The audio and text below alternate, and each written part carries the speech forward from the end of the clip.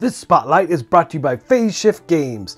Can you collect the most pollen? Immerse yourself in the wonder of nature and create vibrant meadows bursting with flowers to attract the most vital creatures of the ecosystem.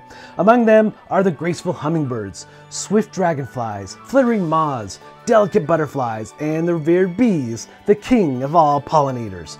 With each turn, you will strategically place uniquely shaped tiles, aiming to match flowers and earn precious petals. But it doesn't end there. It's about nurturing the ecosystem by providing the right flower to each fluttering critter, so it can spread its rich pollen across the land.